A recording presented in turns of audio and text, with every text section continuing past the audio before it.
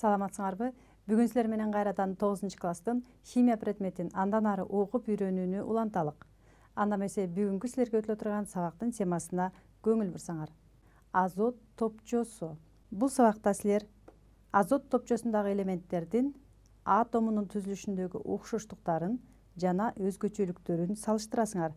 Ошондой эле азоттун кычкылдануу даражаларын табууга үйрөнөсүңөр.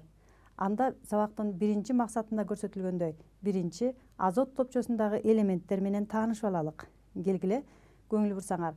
Азот топчосу алтынчы топтун негизги топчосундагы элементтери болуп саналат.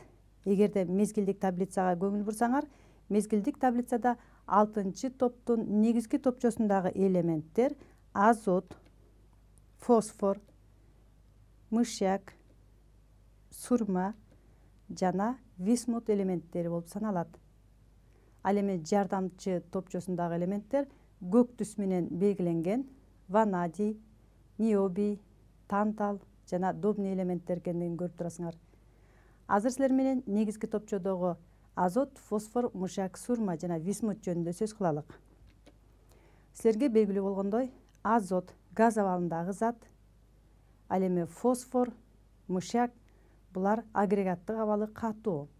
Бул үч зат тең металл эместерге кирет. Ал эми кийинки эки элемент сурма менен висмут металлдык жалтырактыкка ээ болгон заттар болуп саналат. Анда жыйынтык чыгаралык. Мезгилдик таблицада негизги топчодо дайыма жогору жагында металл эместер жайгашат. Мисалы азыр типтүү металл эмес катарында азот менен тааныштык ал эми жогорудон төмөн карай улам металлдык касиети жогорулайт. Силер азыр жебенин багытын көрүп турасыңар. Топто жогорудон төмөн карай металл эместик касиет начарлап металлдык касиет жогорулайт. Биз силер менен өткөн сабакта алтынчы топтун негизги топчосун дагы салыштырып өткөнбүз. Мына ушул сыяктуу эле азыр дагы бешинчи топтун негизги топчосундагы элементтердин физикалык касиеттери улам металлдык касиети жогорулай тургандыгын көрүп турасыңар. Эмне үчүн алардын физикалык касиеттери өзгөрүү учурунда жогорудон төмөн карай металлдык касиети жогорулап жатат? Бул суроого жооп берүү үчүн силер менен чогуу атомдордун түзүлүшүн эске салалык. Бул албетте атомдордун радиусунун өзгөрүшүнө байланыштуу болот. Анда алардын атомунун түзүлүшүн дагы бир жолу карап көрөлүк. Силерге белгилүү болгондой жетинчи топто жайгашкан элемент азот катар саны жети ал экинчи мезгилде жайгашкандыктан эки энергетикалык деңгээлин чийип алабыз. Ал жарым айлана түрүндө чийилерин билесиңер ички катмарында эки электрон сырткы катмарында беш баардыгы жети электрон айланып жүрөт. Демек оң заряддын саны жети терс заряддын саны дагы жети болгондуктан нейтралдуу система атом деп айтканбыз ушундай эле кийинкисин карайлы фосфор катар саны он беш ал үчүнчү мезгилде жайгашкандыктан үч энергетикалык деңгээлин чийдик баардыгы сыртында он беш электрон айланып жүрөт көңүл бургула эң сырткы катмарында беш электрон. Кийинкисин жазалы. Бул элемент мышьяк катар саны отуз үч ал төртүнчү мезгилде жайгашкандыктан төрт энергетикалык деңгээлин чийип алдык мына радиустары өсүп жаткандыгын көрүп жатасыңар. Ал эми эрежеге ички катмарында эки сегиз он сегиз электронду толтуруп эң сырткы катмарын беш электрон деп жазабыз кошсок отуз үч электрон айланып жүрөт кийинкисин карайлы бул сурма катар саны элүү бир ал бешинчи мезгилде жайгашкан беш энергетикалык деңгээли бар анда электрондорду бөлүштүрсөк эки сегиз он сегиз он сегиз жана беш баардыгын кошсок элүү бир электрон айланып жүрөт акыркы элементти карайлы сексен үчүнчү элемент висмут ал кайсы мезгилде жайгашкандыгын карагыла мына ошол мезгилдин санына жараша энергетикалык деңгээлин чийип алдык эрежеге ылайык электрондорун толуштурсак электрондорду толтурсак эки сегиз он сегиз он сегиз отуз эки деп жазып алып эң сырткы катмарында бешти жаздык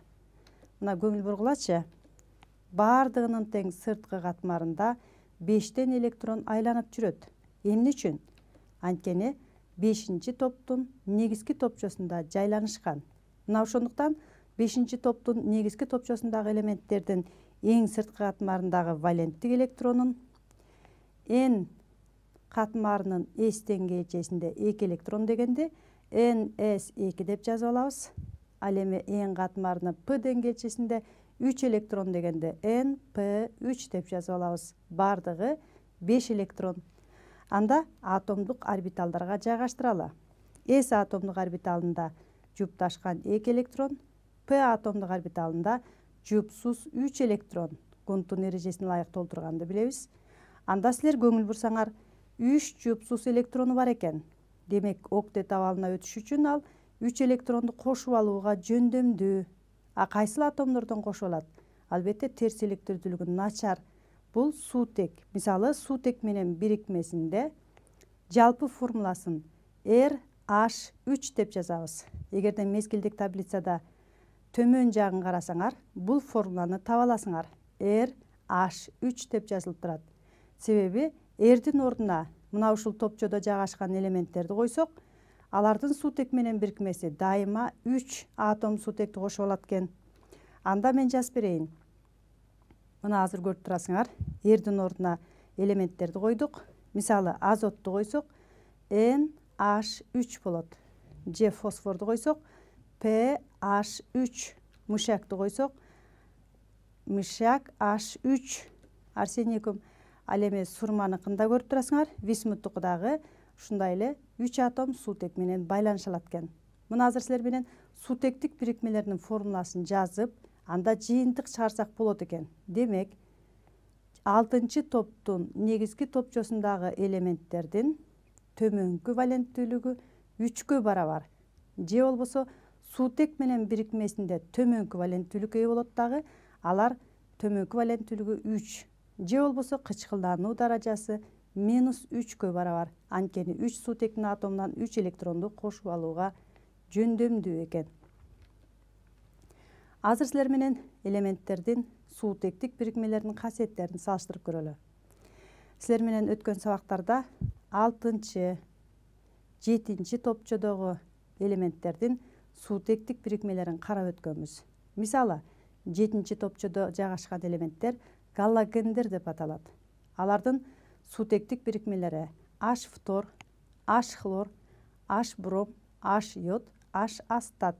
Булардын суутектик бирикмелеринин баардыгы газ абалындагы заттар. Ошондой эле алтынчы топчо же халкогендер деп атайбыз.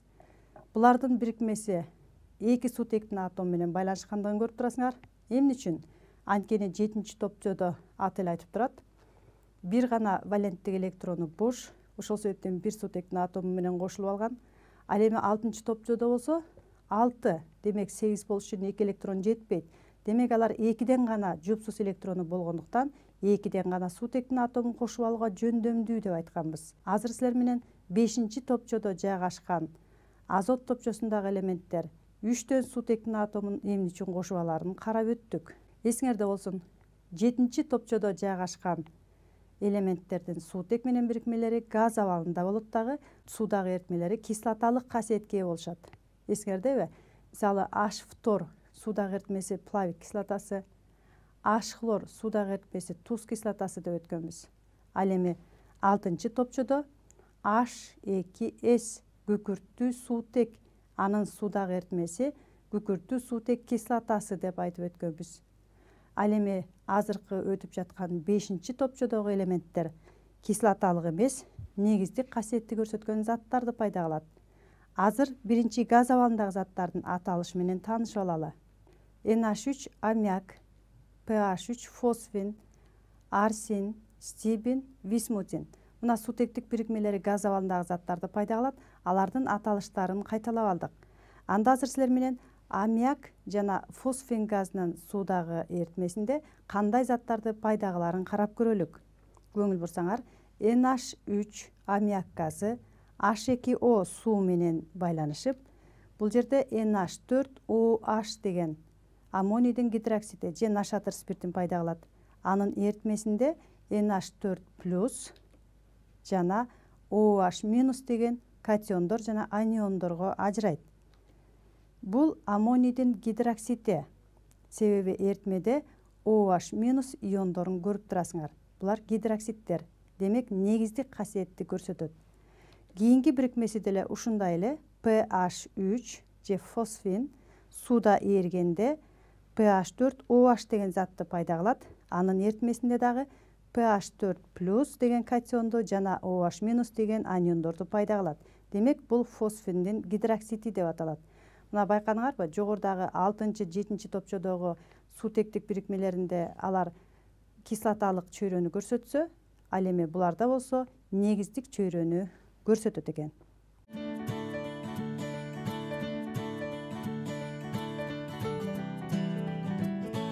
Биз силер менен жогоруда бешинчи топтун негизги топчосунда жайгашкан элементтердин суутектик бирикмелерин карап өттүк. Анда кычкылдануу даражасы жана валенттүүлүгү кандай экендигин билип алдык.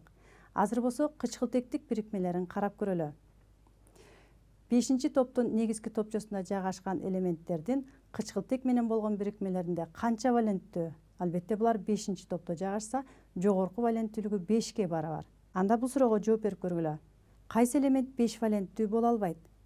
Биз жогоруда айтып өттүк бешинчи топтун негизги топчосундагы элементтердин жогорку валенттүүлүгү бешке барабар. Ал эми алардын ичинен айрымдары беш валенттүү боло албашы мүмкүн. Биз силер менен өткөн сабакта алтынчы топтун негизги топчосундагы элементтерде дагы ушул суроону талкуулап өткөнбүз. Анда силер алган маалыматтарыңарга таянып туруп азыр туура жоопту тапканга аракеттенип көрсөңөр. А азот б фосфор в мышьяк г сурма биринчи жооп а экинчи жооп б үчүнчү жооп в төртүнчү жооп г анда мен силерге сырткы катмарындагы валенттик электронду сунуштайын азоттуку мына көрүп турасыңар н катмардын с деңгээлчесинде эки электрон н катмарынын п деңгээлчесинде үч электрон демек фосфордо деле мышьякта деле сурмада деле сырткы катмарында ушундай эле баардыгында беш электрону бар анда атомдук орбиталдарына чийсек сте экиден электрон п деңгээлчесинде үчтөн жупсуз электрону бар. Бул алардын окшоштуктары болуп саналат. Бирок ушуга карабастан бул элементтердин айрымдары беш валенттүү боло алса ал эми кайсынысы беш валенттүү боло албайт. Эгерде өткөн сабактагы алган билимиңерди пайдалансаңар туура жоопту таптыңар го деп ойлойм. Мен силерге туура жоопту сунуштайын өзүңөр текшерип көргүлө. Туура жооп биринчиси а. Азот. Эмне үчүн? Эсиңерде болсо керек. Анткени азот экинчи мезгилде жайгашкан ал эми фосфор мышьяк сурма үчүнчү төртүнчү бешинчи мезгилде жайгашкандыктан алардын сырткы катмарында д деңгээлчеси бар. Д атомдук орбиталдары болгондуктан алардын жупсуз электрондору козголуп алар баардыгы бештен жупсуз электронду пайда кыла алат мына силер көрүп тургандай беш атомдук орбиталда жупсуз электрондордун жайгашкандыгын көрүп турасыңар мына ошондуктан алар кычкылтек менен болгон бирикмелеринде плюс беш кычкылдануу даражасына ээ болот бирок азот дагы плюс беш кычкылдануу даражасына ээ боло алат. Анткени анын беш электрону болгондуктан кычкылтек менен бирикмесине беш электронун берет. Ал эми төмөндөгүлөрдүкүн айырмасын карагыла аларда беш атомдук орбиталында жайгашкан беш электрону. Ошол себептен алар беш валенттүү да боло алат. Плюс беш кычкылдануу даражасына да ээ боло алат. Ал эми азот болсо плюс беш кычкылдануу даражасына ээ болгону менен ал эч качан беш валенттүү боло албайт. Бул эсиңердеби кычкылтек менен салыштыргыла дагы аны салыштырып өзүңөр үчүн жазып алсаңар. Анда ушуга эле улам кийинки суроого ойлонуп көрөлүк. Кайсы оксидте элементтин кычкылдануу даражасы плюс бешке барабар? Азыр биз силер менен жогоруда эмне үчүн плюс беш экендигин талкууладык.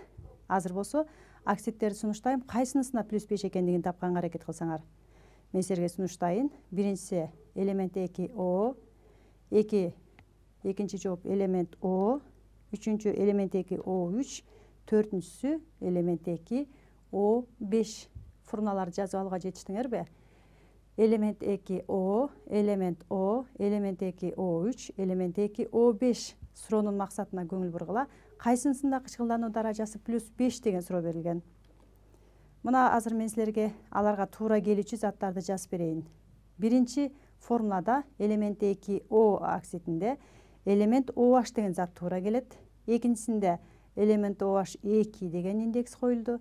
Ал эми үчүнчүсүндө h элемент о эки ал эми төртүнчүсүндө болсо h элемент о үч деген заттар туура келет экен эгерде силер негиздердин кислоталардын жалпы формуласы менен көнүгүп иштеп жүргөн болсоңор анда бул формулалар эмне жөнүндө сөз болуп жаткандыгын түшүнүп жатсаңар керек. Келгиле анда туура жоопту сунуштайын төртүнчүсү туура жооп болуп саналат мына ушул бирикмеде гана плюс беш кычкылдануу даражасына ээ болот эсиңерде болсун биринчи бирикмеде элемент бир валенттүү экендигин көрүп турасыңар оксидинде дагы негизинде дагы экинчисин карагыла эквиваленттүү кычкылдануу даражасында плюс эки үчүнчүсүн карагыла плюс үч оксидинде дагы кислотасында дагы төртүнчүсүн карагыла плюс беш эмне үчүн булардын структуралык формулаларын түзүп дагы бир жолу өткөн сабактагы материалдарды кайталап маалыматтарды эске салып койсоңор азыр силерге бул мисалды сунуштагым келип жатат эсиңерде болсун бешинчи топчодогу элементтердин ичинен азот жана фосфор элементтери мына ушул айтып өткөн элемент эки о үч оксидин жана элемент эки о беш оксиддерин пайда кылууга жөндөмдүү. Ал эми аларга туура келүүчү кислота h элемент о эки h элемент о үч. Келгиле анда ал кислоталар кайсылар болду экен? Жазганды үйрөнөлүк. Көңүл бурсаңар. Биринчи плюс үч кычкылдануу даражасына ээ болгон экинчи плюс беш кычкылдануу даражасына ээ болгон оксид менен кислотанын жалпы формуласын жазып койдум. Анда азоттун оксидин жаза турган болсок элементтин ордуна азот нди коюп жаздым. Н эки о үч. Ал эми туура келүүчү кислота hн о эки бул азоттуу кислота эсиңерде болсун о эки азоттуу кислота. Ал эми беш валенттүүсү же кычкылдануу даражасы бешке болгон о беш кислотасы hн о үч бул кислота азот кислотасы. Эсиңерге сактап алгыла азоттуу кислота hн о эки азот кислотасы hн о үч азыр фосфордукун жазып көрөлү фосфордук ушундай эле жазылат о үч бирок буларга туура келүүчү кислотанын эки түрүн жазсаңар болот. Hp о эки деп да жазсаңар болот. H үч п о үч деп да жазсаңар болот бул фосфордуу кислота булардын структуралык формуласын түзсөңөр оксидинде дагы кислотасында дагы плюс үч кычкылдануу даражасын көрсөтө алат ал эми кийинки беш валенттүү оксиди п эки о беш ага туура келүүчү кислотаны карагыла h п о үч деп да жазсаңар болот h үч п о төрт деп да жазсаңар болот структуралык формулаларын түзүп экөөндө тең плюс беш кычкылдануу даражасына эмне үчүн ээ экендигин карап койгула. Бул фосфор кислотасын сунуштадым. Келгиле анда азотко мүнөздүү кычкылдануу даражаларына жыйынтык чыгаралык. Силер көрүп тургандай азоттун төмөнкү кычкылдануу даражасы минус үч экендигин ал эми жогорку кычкылдануу даражасы плюс беш экендигин билдик. Мисалы nh үч суутек менен болгон бирикмесинде минус үч о беш кычкылтек менен болгон бирикмесинде беш валенттүү анда плюс беш экен ошондой эле азот нейтралдуу абалында нольго барабар. Ошондой эле н эки о бир валенттүү оксидинде бир ал эми эквиваленттүү оксидинде плюс эки үч валенттүү оксидинде плюс үч төрт валенттүү оксидинде плюс төрт деген кычкылдануу даражасына ээ болот бул мисалды эске салып алгыла минус үчтөн плюс бешке өткөн учурда электрондорун берип кычкылдануу процесси жүрөт өзү калыбына келтиргич болот мисал карап көрөлүчү азот эгерде бирикмелеринде минус үч кычкылдануу даражасына ээ болсо ал реакциянын натыйжасында плюс үчкө өтсө бул учурда анда ал канча электронун берет ашыкча үч электронун берет андан сырткары дагы үч электронун берет албетте бул учурда алты электронун берет дагы бир мисалды карап көрөлү мисалы минус үчтөн плюс бешке өткөн учурда ал канча электронун берет минус үчтөн бешке өтүш үчүн өзүнүн үч электронун андан сырткары дагы беш электронду берди анда сегиз электронун берет экен ал эми тескерисинче электронду кошуп алса калыбына келип жүрөт плюс бештен минус үчкө чейинки электрондорду кошуп алып калыбына келүү процесси жүрөт экен мына азыр силер менен азоттун кычкылдануу даражасы минус үч жана плюс бешке барабар болгон бирикмелерин карап өттүк кийинки сабакта бул аммиак газы менен азот кислотасы темасында тереңдетилип дагы көнүгүүлөр иштетилет анда эмесе силерге бөлүнгөн убакыт ушуну менен аягына келип жетти кийинки сабакта жолугушканга чейин саламатта болгула